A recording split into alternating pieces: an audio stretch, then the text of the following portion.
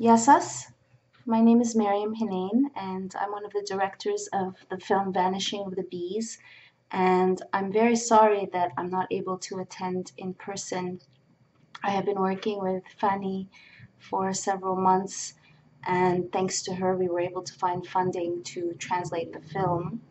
And my wish is to use the film as a tool to spread awareness about the colony collapse disorder, the demise of the bees worldwide.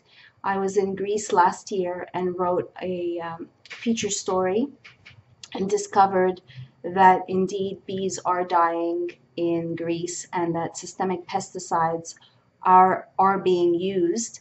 I don't think that the general population knows a lot about the invasion of poisons in the country.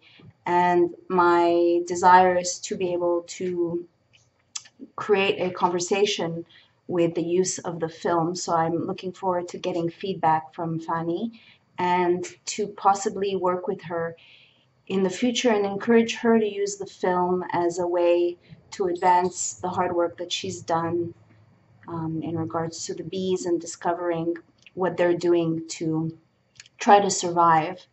Um, so thank you, Paristopoli, and uh, it's my wish that I can bring the movie to Greece in a larger way. Thank you.